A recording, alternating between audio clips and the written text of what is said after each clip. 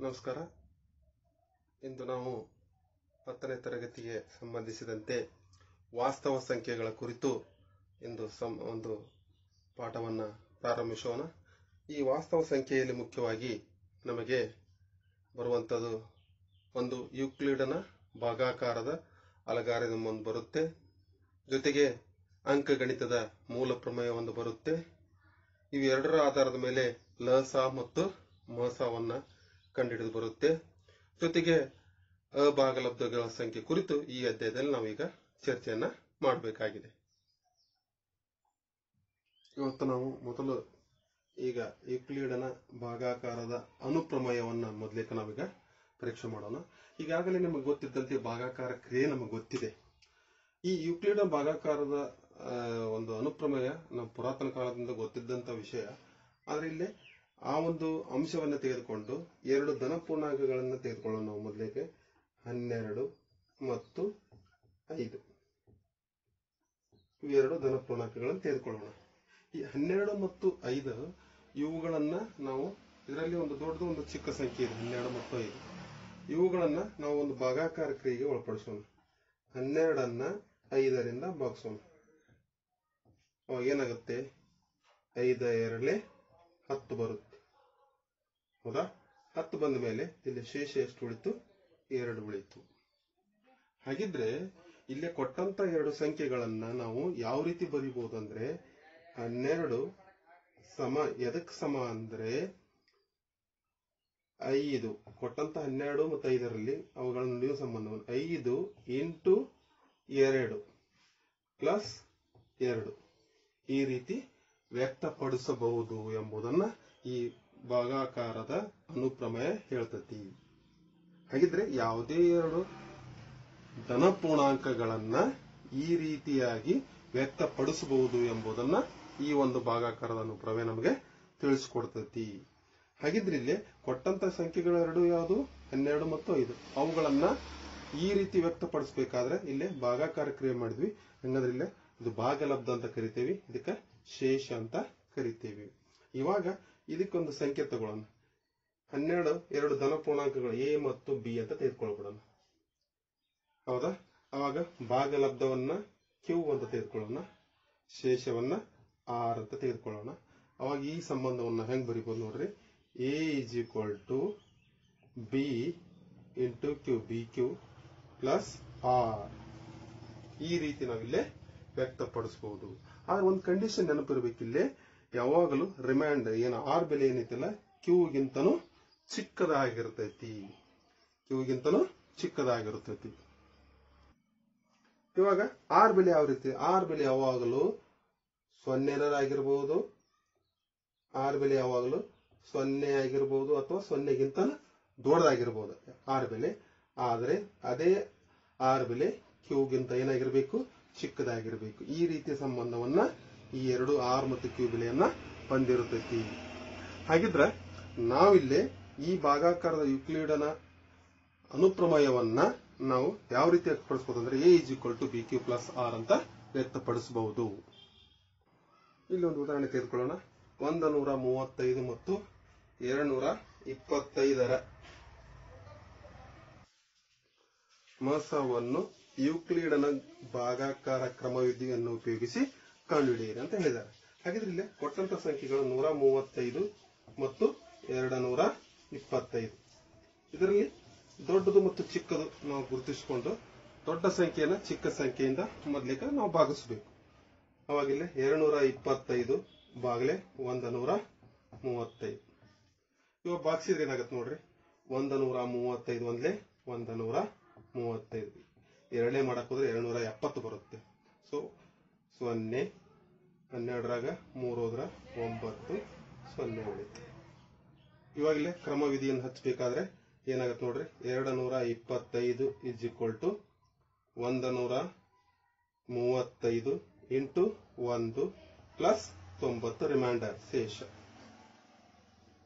ಇವಾಗ ಈ ಶೇಷವನ್ನು ಬಳಸಿಕೊಂಡು ಮತ್ತೆ ನಾವು ಮತ್ತೊಂದು ಭಾಗಾಕಾರ ಕ್ರಿಯೆ ಮಾಡಬೇಕು. ಈ ತೊಂಬತ್ತು ಮತ್ತು ಇಲ್ಲಿ ನೂರ ಮೂವತ್ತೈದು. ಇದರಲ್ಲಿ ಈ ತೊಂಬತ್ತರಿಂದ ನಾವು ಭಾಗಿಸ್ಬೇಕು. ಒಂದು ನೂರ ಮೂವತ್ತೈದನ್ನ. ಅವಾಗ ಏನಾಗುತ್ತೆ ನೋಡ್ರಿ? ತೊಂಬತ್ತೊಂದ್ಲೆ ತೊಂಬತ್ತು ಬರುತ್ತೆ. ಲೇನ್ಸ್ ಉಳಿತು ಐದು. ಹದಿಮೂರು, ಒಂಬತ್ತು ಹೋದ್ರ ನಾಲ್ಕು, ಜೀರೋ. ಇಲ್ಲೇ ಕ್ರಮವಿಧಿ ಬರೆದ್ರೆ ಏನಾಗತ್ತೆ ನೋಡ್ರಿ? ಒಂದ ನೂರ ಮೂವತ್ತೈದು ಈಜ್ ಈಕ್ವಲ್ ಟು ಏನು ಬರೀತ್ರಿ? ತೊಂಬತ್ತು ಇಂಟು ಒಂದು ಪ್ಲಸ್ ನಲವತ್ತೈದು. ಶೇಷ ಎಷ್ಟು ಬಂತಿಲ್ಲೇ? ನಲವತ್ತೈದು. ಇದನ್ನ ಹೇಗೆ ಮುಂದುವರ್ಸೋಣ?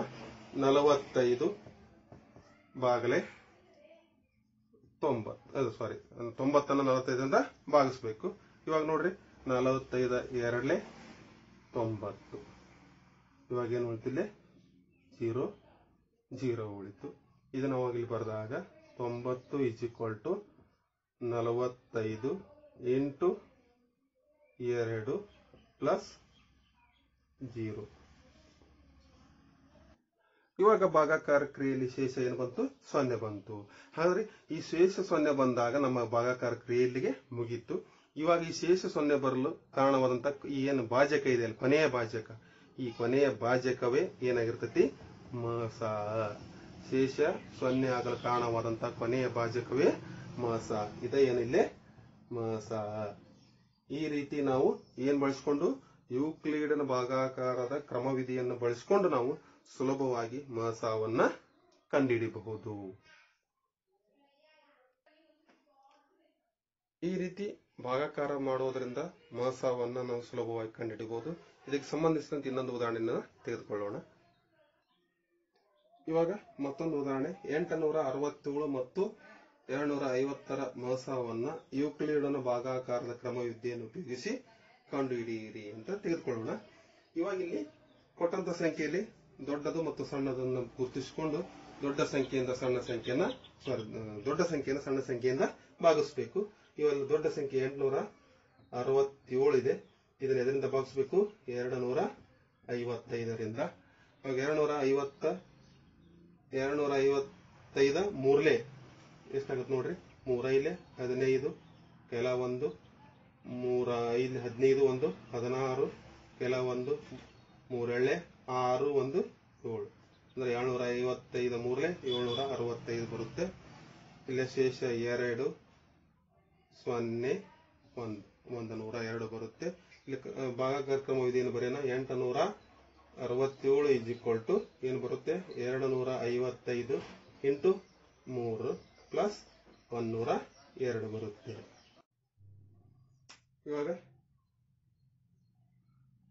ಒಂದು ನೂರ ಎರಡನ್ನ ಎದಕ್ಕೆ? ಎರಡ್ನೂರ ಐವತ್ತೈದಕ್ಕೆ ಬಾಗಿಸೋಣ ಅವು ನೂರ ಎರಡ, ಎರಳೆ, ಎರಡು ನೂರ ನಾಲ್ಕು ಬರುತ್ತೆ. ಐದರ ನಾಲ್ಕು ಹೋದ್ರೆ ಒಂದು, ಐದು, ಐದರ ಸೊನ್ನೆ ಸೊನ್ನೆ, ಐದು, ಸೊನ್ನೆಗೆ ಸೊನ್ನೆ. ಎರಡು ನೂರ ಐವತ್ತೈದು ಇಸ್ ಈಕ್ವಲ್ ಟು ಒಂದು ನೂರ ಎರಡು ಇಂಟು ಎರಡು ಪ್ಲಸ್ ಶೇಷ ಎಷ್ಟು ಐವತ್ತೊಂದು. ಇವಾಗ ಮತ್ತೆ ಈ ಶೇಷವನ್ನು ತೆಗೆದುಕೊಳ್ಳೋಣ. ಐವತ್ತೊಂದು ಬಾಗಲೆ ಒಂದು ನೂರ ಎರಡು. ಆಗ ಐವತ್ತೊಂದ ಎರಡೇ ಒಂದು ನೂರ ಎರಡು. ಶೇಷ ಏನು ಬಂತು? ಸೊನ್ನೆ ಬಂತು. ಆವಾಗ ಒಂದು ನೂರ ಎರಡು ಈಸ್ ಈಕ್ವಲ್ ಟು ಐವತ್ತೊಂದು ಇಂಟು ಎರಡು ಪ್ಲಸ್ ಶೇಷ ಸೊನ್ನೆ ಕಾರಣ ಆಯಿತು.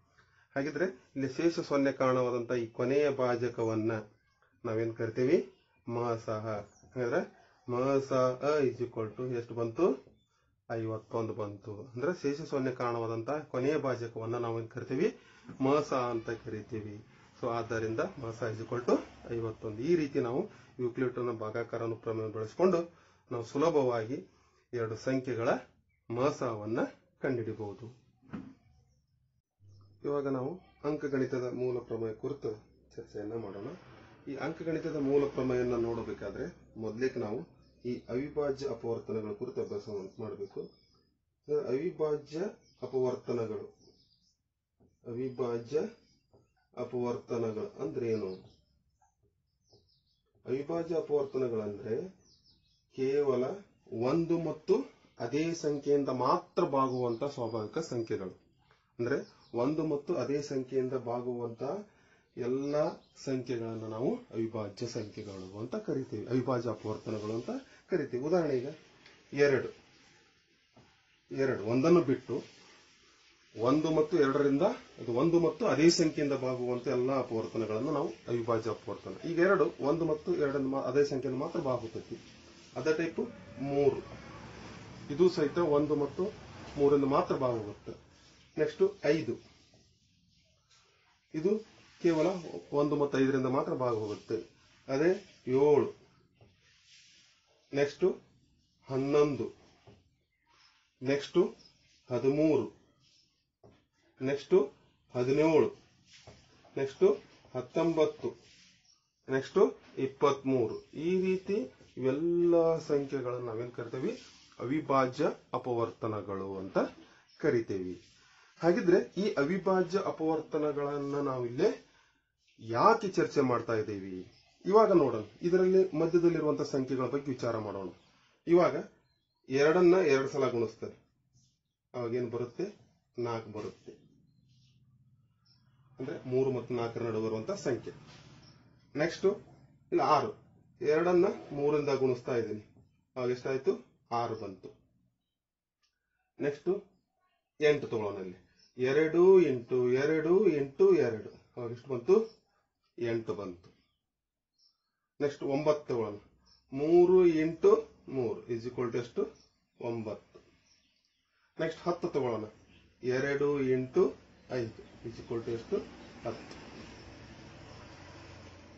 ಹಾಗಿದ್ರೆ ನಾವು ಈ ಎಲ್ಲಾ ಈ ಸಂಖ್ಯೆಗಳನ್ನ ಅವಿಭಾಜ್ಯ ಸಂಖ್ಯೆಗಳ ಗುಣಲಬ್ಧದಿಂದ ರೆಡಿ ಮಾಡಿದ್ವಿ. ಹಾಗಿದ್ರೆ ಈ ನಾಲ್ಕು, ಆರು, ಎಂಟು, ಒಂಬತ್ತು, ಹತ್ತು ಇವುಗಳನ್ನ ನಾವೇನ್ ಕರಿತೀವಿ ಅಂದ್ರೆ ಸಂಯುಕ್ತ ಸಂಖ್ಯೆಗಳು ಅಂತ ಕರಿತೀವಿ. ಹಾಗಾದ್ರೆ ಇವು ಅವಿಭಾಜ್ಯ ಸಂಖ್ಯೆಗಳಾದ್ರೆ ಇವು ಸಂಯುಕ್ತ ಸಂಖ್ಯೆಗಳು. ಹಾಗಿದ್ರೆ ನಾವೀಗ ಈ ಅಂಕಗಣಿತದ ಮೂಲ ಪ್ರಮೇಯವನ್ನ ಚರ್ಚೆ ಮಾಡಬೇಕಾಗಿದೆ. ಈ ಅಂಕಗಣಿತದ ಮೂಲ ಪ್ರಮೇಯದ ಪ್ರಕಾರ ಯಾವುದೇ ಒಂದು ಸಂಖ್ಯೆಯು ಅವಿಭಾಜ್ಯ ಅಪವರ್ತನಗಳ ಗುಣಲಬ್ಧವಾಗಿ ವ್ಯಕ್ತಪಡಿಸಬಹುದು. ಯಾವುದೇ ಒಂದು ಸಂಖ್ಯೆಯನ್ನ ಅವಿಭಾಜ್ಯ ಅಪವರ್ತನಗಳ ಗುಣಲಬ್ಧವಾಗಿ ವ್ಯಕ್ತಪಡಿಸಬಹುದು. ಬೇಕಾ ಸಂಖ್ಯೆ ತಗೊಂಡ್ರೆ ನಾವು ವ್ಯಕ್ತಪಡಿಸಬಹುದು. ಈಗ ನಾವು ಹತ್ತಕ್ಕೆ ನಿಂದ್ರಿಸಿದ್ವಿ ನೆಕ್ಸ್ಟ್ ಈಗ ಹನ್ನೊಂದು ಆದ್ಮೇಲೆ ಹನ್ನೆರಡು ತಗೊಳ್ಳೋಣ. ಆ ಹನ್ನೆರಡನ್ನ ಹೆಂಗ್ ಬರ್ತೀರಿ ಎರಡು ಎಂಟು ಎರಡು ಎಂಟು ಮೂರು. ಈಸ್ ಈಕ್ವಲ್ ಟು ಹನ್ನೆರಡು. ಈ ಹನ್ನೆರಡನ್ನ ಇದು ಎರಡು ಅವಿಭಾಜ್ಯ ಸಂಖ್ಯೆ ಮತ್ತೆ ಎರಡು ಅವಿಭಾಜ್ಯ ಸಂಖ್ಯೆ ಮೂರು. ಇವು ಅವಿಭಾಜ್ಯ ಸಂಖ್ಯೆಗಳ ಗುಣಲಬ್ಧದಿಂದನೇ ಬರ್ತೈತಿ. ಹಾಗಿದ್ರೆ ಈ ಅಂಕಣಿತದ ಮೂಲ ಪ್ರಮೇಯದ ಪ್ರಕಾರ ಪ್ರತಿಯೊಂದು ಸಂಯುಕ್ತ ಸಂಖ್ಯೆಯನ್ನ ಅವಿಭಾಜ್ಯ ಅಪವರ್ತನಗಳ ಗುಣಲಬ್ಧವಾಗಿ ವ್ಯಕ್ತಪಡಿಸಬಹುದು ಎಂಬುದನ್ನ ನಾವಿಲ್ಲಿ ನೋಡಬಹುದು. ಇನ್ನು ಬೇರೆ ಎಕ್ಸಾಂಪಲ್ ತಗೊಂಡು ಈ ಇಪ್ಪತ್ತು ತಗೊಳ್ಳೋಣ ಈ ಇಪ್ಪತ್ತನ್ನು ಹೆಂಗ್ ಬರೀತೀರಿ? ಎರಡು ಎಂಟು ಎರಡು ಎಂಟು ಐದು. ಎರಡೆಳೆ ನಾಲ್ಕು ನಾಲ್ಕೈಲಿ ಇಪ್ಪತ್ತು. ಈ ರೀತಿ ನಾವು ಗುಣಲಬ್ಧವಾಗಿ ವ್ಯಕ್ತಪಡಿಸಬಹುದು. ಹಾಗಿದ್ರೆ ಈ ಅಂಕಗಣಿತದ ಮೂಲ ಪ್ರಮೇಯದ ಒಂದು ವಾಕ್ಯ ನೋಡೋಣ ಪ್ರತಿಯೊಂದು ಸಂಯುಕ್ತ ಸಂಖ್ಯೆಯನ್ನು ಅವಿಭಾಜ್ಯಗಳ ಗುಣಲಬ್ಧವಾಗಿ ವ್ಯಕ್ತಪಡಿಸಬಹುದು ಮತ್ತು ಆ ಅಪವರ್ತಿಸುವಿಕೆಯು ಅವಿಭಾಜ್ಯ ಅಪವರ್ತನಗಳು ಘಟಿಸುವ ಕ್ರಮವನ್ನು ಹೊರತುಪಡಿಸಿ ಅನನ್ಯವಾಗಿರುತ್ತದೆ. ಅಂದ್ರೆ ಪ್ರತಿಯೊಂದು ಸಂಯುಕ್ತ ಸಂಖ್ಯೆಯನ್ನ ನಾವು ಅವಿಭಾಜ್ಯಗಳ ಗುಣಲಬ್ಧವಾಗಿ ವ್ಯಕ್ತಪಡಿಸಬಹುದು ಎಂಬುದನ್ನ ನಾವಿಲ್ಲಿ ನೋಡಬಹುದು. ಹಾಗಿದ್ರೆ ಈಗ ಯಾವ್ದೋ ಒಂದು ಸಂಖ್ಯೆಯನ್ನ, ಸಂಯುಕ್ತ ಸಂಖ್ಯೆಯನ್ನು ತೆಗೆದುಕೊಂಡು ಅವಿಭಾಜ್ಯ ಗುಣಲಬ್ಧವಾಗಿ ಯಾವ ರೀತಿ ವ್ಯಕ್ತಪಡಿಸಬಹುದು ಎಂಬುದನ್ನ ಯಾವ ರೀತಿ ಕಂಡುಹಿಡಿಬೇಕೆಂಬುದನ್ನ ಈಗ ನೋಡೋಣ. ಇವಾಗ ಮೂರ್ ಸಾವಿರದ ಎಂಟುನೂರ ಇಪ್ಪತ್ತೈದನ್ನು ಅವಿಭಾಜ್ಯ ಅಪವರ್ತನಗಳ ಗುಣಲಬ್ಧವಾಗಿ ವ್ಯಕ್ತಪಡಿಸಿ ಅಂತ ಹೇಳಿದ್ದಾರೆ. ಹಾಗಿದ್ರೆ ಈಗ ಮೂರ್ ಸಾವಿರದ ಎಂಟುನೂರ ಇಪ್ಪತ್ತೈದನ್ನ ನಾವು ಅವಿಭಾಜ್ಯ ಸಂಖ್ಯೆಗಳ ಗುಣಲಬ್ಧ ವ್ಯಕ್ತಪಡಿಸಬೇಕಾದ್ರೆ ಈ ಮೂರ್ ಸಾವಿರದ ಎಂಟುನೂರ ಇಪ್ಪತ್ತೈದನ್ನು ಭಾಗಿಸುವಂತ ಅವಿಭಾಜ್ಯ ಅಪವರ್ತನಗಳನ್ನು ಕಂಡುಹಿಡ್ತಾ ಹೋಗ್ಬೇಕು. ಇವಾಗ ಈ ಮೂರ್ ಸಾವಿರದ ಎಂಟುನೂರ ಇಪ್ಪತ್ತೈದು ಇದು ಎರಡರಿಂದ ಅಂತ ಭಾಗಬೋದಲ್ಲ ನೆಕ್ಸ್ಟ್ ಮೂರಿಂದ ಭಾಗ ಹೋಗುತ್ತೆ ಬೇಕಾದ್ರೆ ಚೆಕ್ ಮಾಡಬಹುದು ಇವನ್ನೆಲ್ಲವುಗಳನ್ನ ಕೂಡಿಸಿ ಬರುವಂತ ಸಂಖ್ಯೆ ಮೂರಿಂದ ಭಾಗ ಹೋಗ್ತಾ ಇದ್ರೆ ಅದು ಈ ಪೂರ್ತಿ ಸಂಖ್ಯೆಯು ಮೂರರಿಂದ ಭಾಗ ಉದಾಹರಣೆಗೆ ಎಂಟು, ಮೂರು, ಹನ್ನೊಂದು ಹನ್ನೊಂದು, ಎರಡು, ಹದಿಮೂರು ಹದಿಮೂರು, ಐದು, ಹದಿನೆಂಟು ಹದಿನೆಂಟು, ಮೂರಿಂದ ಪೂರ್ತಿಯಾಗಿ ಭಾಗ ಹೋಗುತ್ತದೆ ಹಾಗಾದ್ರೆ ಇದು ಸಹಿತ ಮೂರಿಂದ ಭಾಗ ಹೋಗುತ್ತದೆ ಇವಾಗ ಮೂರಿಂದ ಇದನ್ನ ಭಾಗಿಸೋಣ. ಮೂರು, ಒಂದೇ ಮೂರು ಮೂರು ಎಳೆ ಆರು, ಎರಡು ಉಳಿತು, ಇಪ್ಪತ್ತೆರಡು ಆಯ್ತು ಮೂರು ಏಳೆ ಇಪ್ಪತ್ತೊಂದು, ಒಂದು ಉಳಿತು, ಹದಿನೈದು ಆಯ್ತು ಮೂರು ಇಲ್ಲೇ ಹದಿನೈದು. ನಿಮ್ಗೆ ಇಲ್ಲಿ ಭಾಗಕ್ಕೆ ಬರಕ್ ಇಲ್ಲಿ ಕಟ್ತಾ ಹೊಡ್ಯಕ್ ಬರಲ್ಲ ಅಂತ ಅಥವಾ ಭಾಗಸಕ್ ಬರಲ್ಲ ಅಂತ ಸಪ್ರೇಟ್ ಆಗಿ ಮೂರು ಸಾವಿರದ ಎಂಟುನೂರ ಇಪ್ಪತ್ತೈದು ಬಾಗಲೇ, ಮೂರು ಸಾವಿರದ ಎಂಟುನೂರ ಇಪ್ಪತ್ತೈದು ಬಾಗಲೇ, ಮೂರು ಅಂತ ಭಾಗಿಸಿ ಬಂದ ಬಾಗಲಕ್ಕೆ ಇಲ್ಲಿ ಇಡಬಹುದು. ಇನ್ನ ಮತ್ತೆ ಚೆಕ್ ಮಾಡೋಣ. ಮತ್ತು ಮೂರಿಂದ ಭಾಗ ಹೋಗುತ್ತದೆ. ಮೂರ್ ನಾಲ್ಕಲೆ ಹನ್ನೆರಡು. ಏಳು ಉಳಿತು. ಏಳು ಐತಿ ಮುಂದೆ. ಮೂರೆಳೆ ಆರು, ಒಂದು ಉಳಿತು. ಹದಿನೈದು ಆಯ್ತು. ಮೂರ ಇಲ್ಲೇ, ಹದಿನೈದು. ನೆಕ್ಸ್ಟ್ ಮತ್ತೆ ಇಲ್ಲಿ ತಗೊಳ್ಳೋಣ ಮೂರ. ಇಲ್ಲಿ ಮೂರಲ್ಲಿ ಬಾ ಹೋಗಂಗಿಲ್ಲ. ಯಾಕೆಂದ್ರೆ ನಾಲ್ಕು, ಎರಡು, ಆರು. ಆರು ಇದು ಹನ್ನೊಂದು ಇದೆ. ಹಾಗಾದ್ರೆ ಮೂರಿಂದ ಬಾ ಹೋಗಂಗಿಲ್ಲ. ನೆಕ್ಸ್ಟ್ ಎಷ್ಟೊಂದು ಹೋಗುತ್ತೆ? ಐದರಿಂದ ಹೋಗುತ್ತೆ. ಅವಾಗ ಯಾಕೆ ಬಿಡಿಸ್ತಂದಲ್ಲಿ ಐದು ಇರೋದ್ರಿಂದ ಐದರಿಂದ ಭಾಗ ಹೋಗುತ್ತದೆ. ಐದು ಎಂಟ್ಲೆ ನಲವತ್ತು. ಎರಡು ಉಳಿತು, ಇಪ್ಪತ್ತೈದು ಆಯಿತು. ಐದು ಇಲ್ಲಿ, ಇಪ್ಪತ್ತೈದು. ನೆಕ್ಸ್ಟ್ ಮತ್ತು ಐದರಿಂದ ಭಾಗ ಹೋಗುತ್ತೆ. ಬಿಡಿಸ್ತಂದ ಐದು ಇರೋದ್ರಿಂದ ಐದು ಒಂದಲೇ ಐದು, ಮೂರು ಉಳಿತು, ಮೂವತ್ತೈದು ಆಯಿತು. ಐದು ಒಳ್ಳೆ ಮೂವತ್ತೈದು. ಇವಾಗ ಹದಿನೇಳು ಅವಿಭಾಜ್ಯ ಸಂಖ್ಯೆ ಆಗಿರೋದ್ರಿಂದ ಡೈರೆಕ್ಟಾಗಿ ನಾವು ಹದಿನೇಳ ಒಂದಲೇ. ಇವಾಗ ನಾವು ಮೂರು ಸಾವಿರದ ಎಂಟುನೂರ ಇಪ್ಪತ್ತೈದು ಈಕ್ವಲ್ ಟು ಏನು ತೊಗೊಂತೀರಿ ಇಲ್ಲೇ? ಮೂರು ಎಂಟು ಮೂರು ಎಂಟು ಐ ಮೂರು ಎಂಟು ಮೂರು ಎಂಟು ಐದು ಎಂಟು ಐದು ಎಂಟು ಹದಿನೇಳು. ಇವಾಗ ನೋಡ್ರಿ, ಮೂರರ ಘಾತ ಎರಡು. ಮೂರ ಎರಡು ಸಲ ಇರೋದ್ರಿಂದ ಎಂಟು ಐದರ ಘಾತ ಎರಡು. ಎಂಟು ಐದು ಎರಡು ಸಲ ಇರೋದ್ರಿಂದ ಹದಿನೇಳು. ಈ ರೀತಿ ನಾವು ಈ ಮೂರು ಸಾವಿರದ ಎಂಟುನೂರ ಇಪ್ಪತ್ತೈದನ್ನು ಅವಿಭಾಜ್ಯ ಅಪವರ್ತನಗಳ ಗುಣಲಬ್ಧವಾಗಿ ವ್ಯಕ್ತಪಡಿಸಬಹುದು. ಇವಾಗ ಇನ್ನೊಂದು ಉದಾಹರಣೆ ತೆಗೆದುಕೊಳ್ಳೋಣ ಮುನ್ನೂರ ಅರವತ್ತನ್ನು ಅವಿಭಾಜ್ಯ ಅಪವರ್ತನಗಳ ಗುಣಲಬ್ಧವಾಗಿ ವ್ಯಕ್ತಪಡಿಸಿದಾಗ ಮುನ್ನೂರ ಅರವತ್ತು ಇಜಿಕೊಟ್ಟು ಕೊಟ್ಟು ಎರಡರ ಘಾತ ಎಕ್ಸ್ ಇಂಟು ಮೂರ ಘಾತ ವಾಯ್ ಇಂಟು ಐದರ ಘಾತ ಜಡ್ ಬಂದರೆ ಎಕ್ಸ್ ವಾಯ್ ಜಡ್ ಬೆಲೆಯನ್ನು ಕಂಡುಹಿಡಿಯಿರಿ ಅಂತ ಹೇಳಿದ್ದಾರೆ.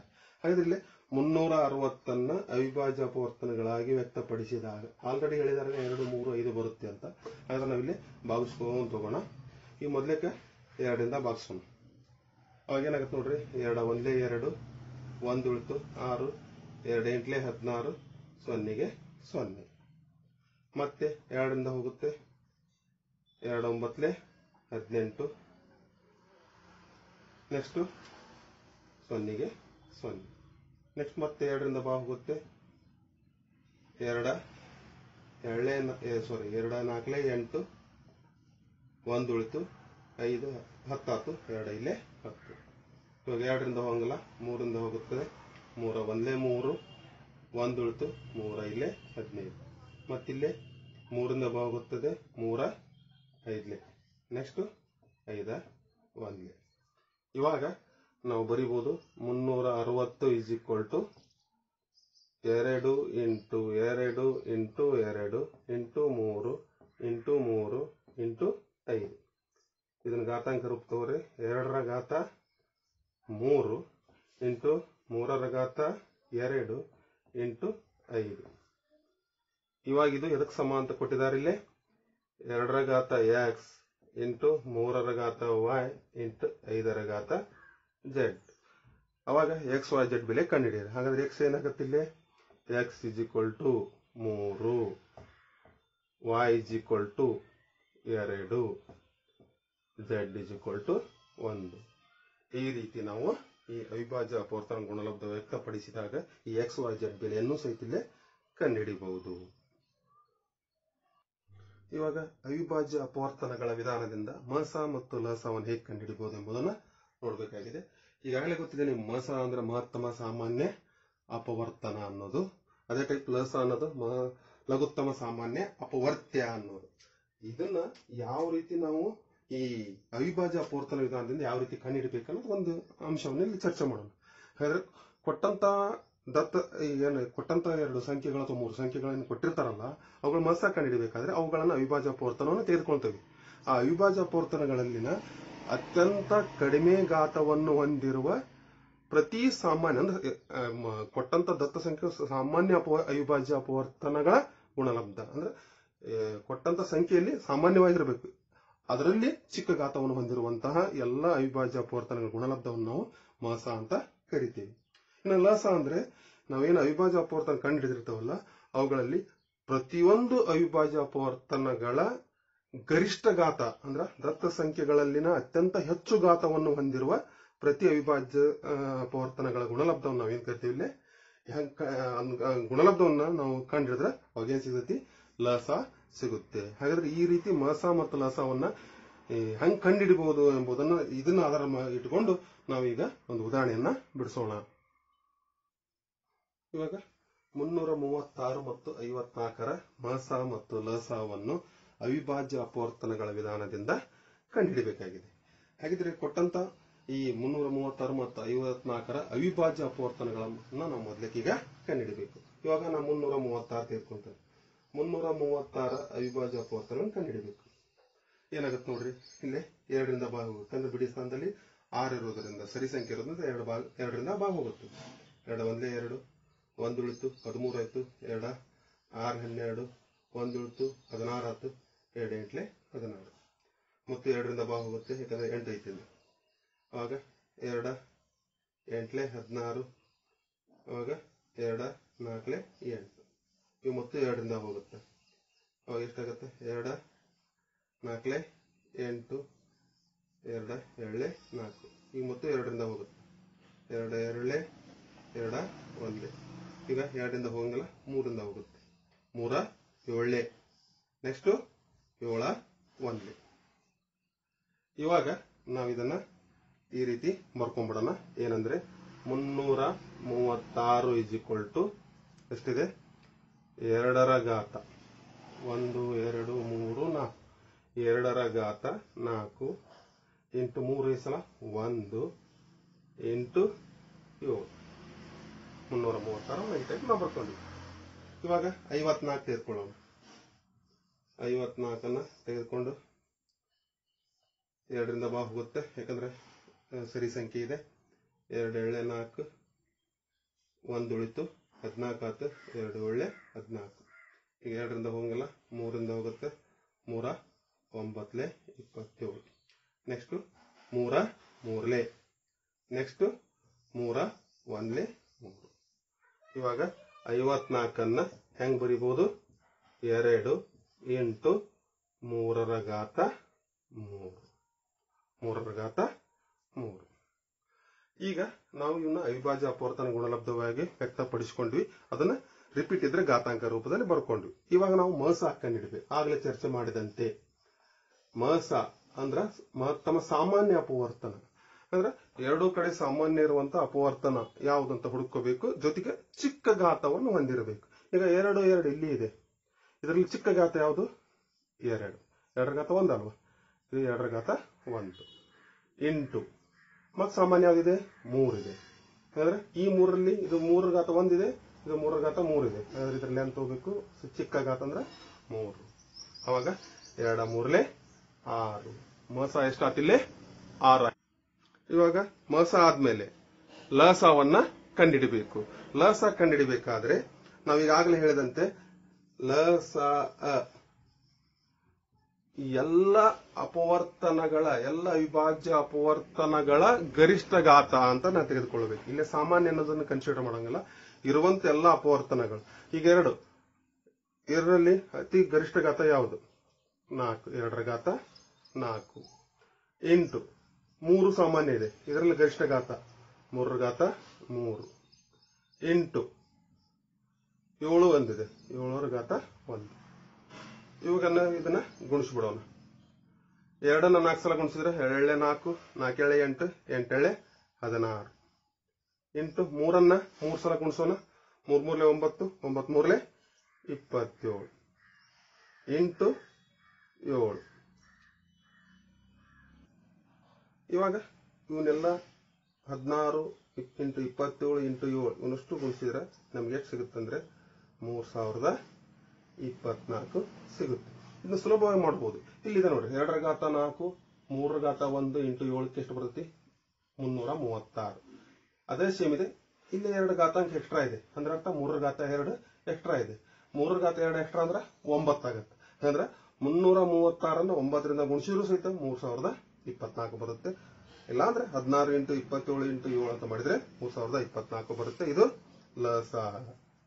ಹಾಗಾದ್ರೆ ಈ ರೀತಿ ಪ್ರತಿಯೊಂದು ಘಾತದ, ಪ್ರತಿಯೊಂದು ಅವಿಭಾಜ್ಯ ಅಪವರ್ತನ ಗರಿಷ್ಠ ಘಾತವನ್ನು ತೆಗೆದುಕೊಂಡು ಅವನು ವಸ್ತುವನ್ನು ಗುಣಿಸಿದ್ರೆ ನಮ್ಗೆ ಲಸ ಸಿಗುತ್ತೆ.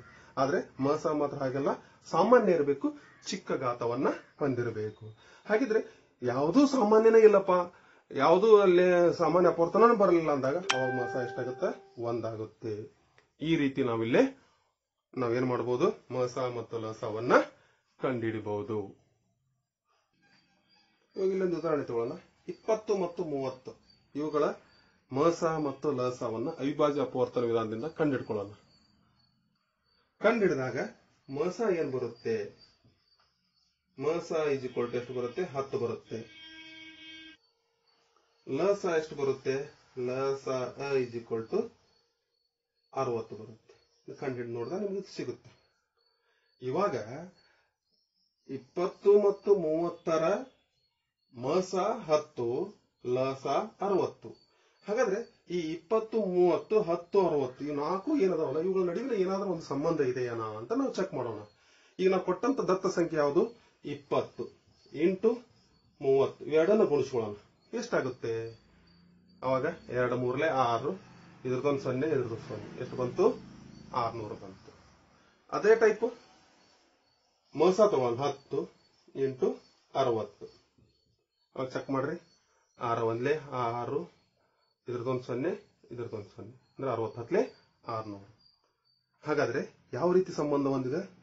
ಕೊಟ್ಟಂತ ಎರಡು ಸಂಖ್ಯೆಗಳ ಗುಣಲಬ್ಧವು ಅವುಗಳ ಮಸ ಮತ್ತು ಲಸಗಳ ಗುಣಲಬ್ಧಕ್ಕೆ ಸಮವಾಗಿರುತ್ತೆ. ಅಂದ್ರೆ ಅರ್ಥ, ಕೊಟ್ಟಂತ ಎರಡು ಸಂಖ್ಯೆ ಅಂದ್ರೆ ಇಪ್ಪತ್ತು ಇಂಟು ಮೂವತ್ತು ಈಸ್ ಈಕ್ವಲ್ ಟು ಇವುಗಳ ಮಸ ಹತ್ತು ಇಂಟು ಲಸ ಅರವತ್ತು.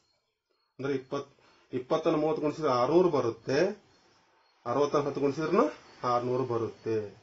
ಹಾಗಿದ್ರೆ ಇಲ್ಲೇ ಎರಡು ಸಂಖ್ಯೆಗಳ ಲಸ ಮತ್ತು ಮಸ ಇವುಗಳ ನಡುವಿನ ಸಂಬಂಧವನ್ನು ನಾವು ಸುಲಭವಾಗಿ ಮಾಡಬಹುದು ಹಾಗಾದ್ರೆ ಆ ಎರಡು ಸಂಖ್ಯೆಗಳು ಯಾವಾಗಿರ್ಲಿ? ಎ ಮತ್ತು ಬಿ ಆಗಿರ್ಲಿ. ಆ ಎರಡು ಸಂಖ್ಯೆಗಳು ಏನಾಗಿರ್ಲಿ? ಎ ಮತ್ತು ಬಿ ಆಗಿರ್ಲಿ. ಅವುಗಳ ಲಸ ಮಸ ಲಸ ಎಚ್ ಆಗಿರಲಿ. ಸಾರಿ ಮಸ ಎಚ್ ಆಗಿರಲಿ. ಲಸ ಏನಾಗಿರಲಿ? ಎಲ್ ಆಗಿರಲಿ. ಇವುಗಳ ನಡುವಿನ ಸಂಬಂಧ ಈ ಚೆಕ್ ಮಾಡಿದ್ರಲ್ಲ ಏನಾಗಿರ್ತದೆ ಅಂದ್ರೆ A into B is equal to H into L ಈ ರೀತಿ ಸಂಬಂಧವನ್ನ ಹೊಂದಿರ್ತೈತಿ. ಹಂಗಂದ್ರ ಎರಡು ಸಂಖ್ಯೆಗಳು ಅವುಗಳ ಲಸಾಮಸಗಳ ನಡುವಿನ ಸಂಬಂಧ ಯಾವ ರೀತಿ ಇರ್ತೈತೆ ಅಂದ್ರೆ A into B is equal to H into L ಅಂದ್ರೆ ಇದನ್ನು ಬಳಸಿಕೊಂಡು ನಾವು ಸುಲಭವಾಗಿ ಲಸ ಮಸವನ್ನ ಆ, ನಾವು ಕಂಡುಹಿಡಿಬಹುದು ಅಂದ್ರೆ ನಾಲ್ಕು ಅಂಶದಲ್ಲಿ ಮೂರು ಅಂಶ ಕೊಟ್ರೆ ಇನ್ನೊಂದು ಅಂಶ ಸುಲಭವಾಗಿ ಕಂಡುಹಿಡಿಬಹುದು ಉದಾಹರಣೆಗೆ ಲಸ ಕಂಡುಹಿಡಿಬೇಕು ಎಲ್ ಇಸ್ ಈಕ್ವಲ್ ಟು ಅವಾಗ ಏನಾಗುತ್ತೆ ನೋಡ್ರಿ? A into B divided by H ಅದೇ ನೀವು ಎಚ್ ಕಂಡುಹಿಡಿಬೇಕು ಎಚ್ ಇಸ್ ಈಕ್ವಲ್ ಟು ಏನ್ ಬರ್ತೀರಿ? A into B divided by L ಈ ರೀತಿ ನಾವು ಎಲ್ ಮತ್ತು ಅಂದ್ರೆ ಲಸ ಮತ್ತು ಮಸವನ್ನ ಸುಲಭವಾಗಿ ಕಂಡುಹಿಡಿಬಹುದು ಅಂದ್ರೆ ಅರ್ಥ, ಎರಡು ಸಂಖ್ಯೆಗಳ ಗುಣಲಬ್ಧವನ್ನು ಕೊಟ್ಟು ಲಸ ಮಸ ಕೊಟ್ಟಾಗ ಪ್ರತಿಯೊಂದನ್ನ ಕಂಡುಹಿಡಿಯಕ ಬರ್ತೈತಿ.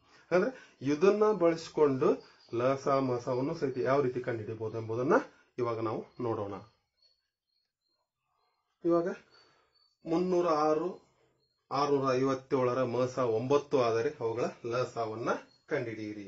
ಹಾಗಾದ್ರೆ ಇಲ್ಲಿ ಆಗಲೇ ಬಳಸಿದಂತ ಸೂತ್ರವನ್ನು ತೆಗೆದುಕೊಳ್ಬೇಕು. ಎ ಇಸ್ ಈಕ್ವಲ್ ಟು ಮುನ್ನೂರ ಆರು ಬಿ ಇಸ್ ಎರಡು ಸಂಖ್ಯೆಗಳು ಆರುನೂರ ಐವತ್ತೇಳು. ಎಚ್ ಕೊಟ್ಟಿದ್ದಾರೆ ಎಚ್ ಇಸ್ ಈಕ್ವಲ್ ಟು ಒಂಬತ್ತು ಎಲ್ ಕ್ವಶನ್ ಮಾರ್ಕ್ ನಿಮ್ ಲಸ. ಅವಾಗ ಲಸ ಕಂಡುಹಿಡಿಬೇಕಾದ್ರ L is equal to A into B divided by H ಹಾಗಾದ್ರೆ ಎ ಬೆಲೆ ಎಷ್ಟಿದೆ? ಮುನ್ನೂರ ಆರು ಅವು ಎರಡು ಸಂಖ್ಯೆಗಳ ಗುಣಲಬ್ಧ. ಇಂಟು ಆರ್ನೂರ ಐವತ್ತೇಳು ಡಿವೈಡೆಡ್ ಬೈ ಒಂಬತ್ತು. ಇವಾಗ ನಾವಿಲ್ಲೇ ಒಂಬತ್ತರಲ್ಲೇ ಕಟ್ಟ ಹೊಡಿಬೇಕು. ಅವಾಗ ಏನಾಗುತ್ತೆ ನೋಡ್ರಿ? ಒಂಬತ್ತು ಒಂದ್ಲೆ ಒಂಬತ್ತು ಒಂಬತ್ ಮೂರ್ಲೆ ಇಪ್ಪತ್ತೇಳು, ಮೂರು ಉಳಿತು ಮೂವತ್ತಾರತ್ತು ಒಂಬತ್ತು ಮೂವತ್ತಾರು. ಇವಾಗ ಆರುನೂರ ಐವತ್ತೇಳು ಇಂಟು ಮೂವತ್ನಾಲ್ಕು ಮಾಡ್ರಿ. ಆರ್ನೂರ ಐವತ್ತೇಳು ಇಂಟು ಮೂವತ್ನಾಲ್ಕು ಮಾಡಿದ್ರೆ ನಿಮಗೆ ಗುಣಲಬ್ಧ ಸಿಗುತ್ತೆ.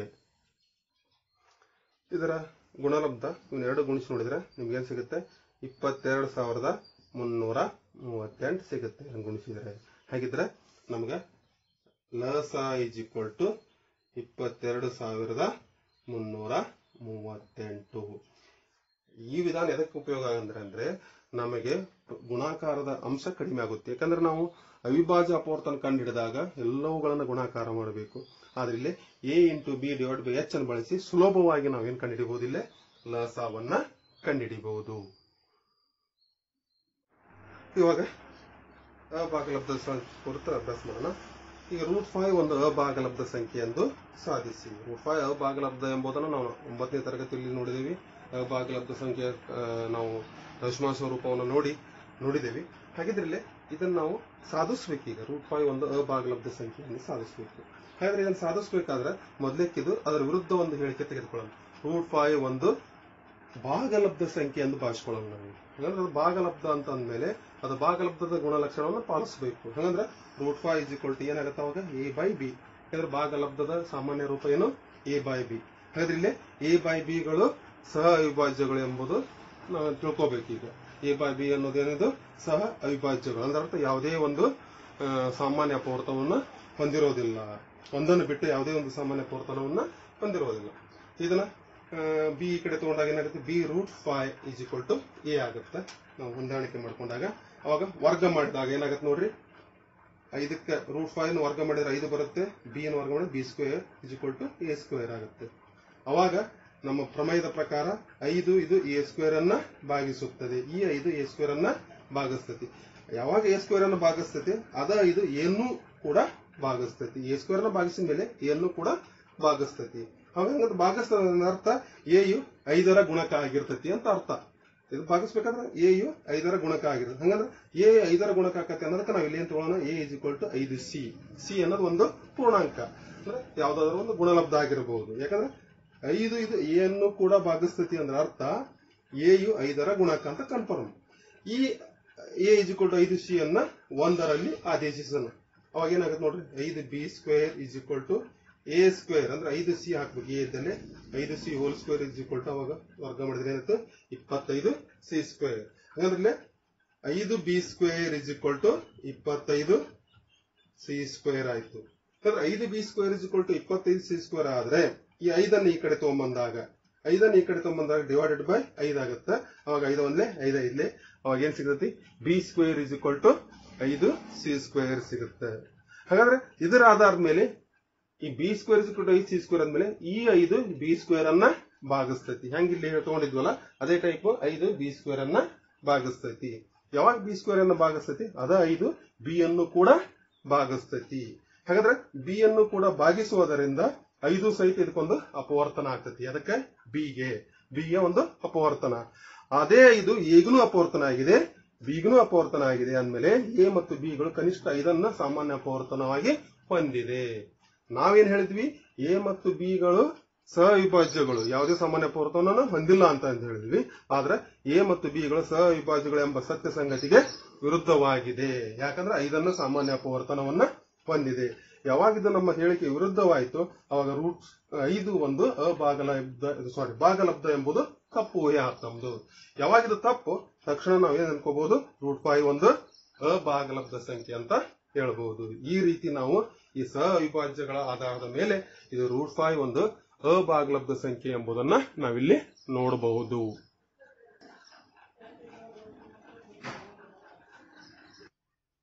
ಇಲ್ಲಿ ಮತ್ತೊಂದು ಉದಾಹರಣೆ ತೆಗೆದುಕೊಳ್ಳಿ. ತ್ರೀ ಪ್ಲಸ್ ರೂಟ್ ಫೈವ್ ಒಂದು ಅಭಾಗಲಬ್ಧ ಸಂಖ್ಯೆ ಎಂದು ಸಾಧಿಸಿ.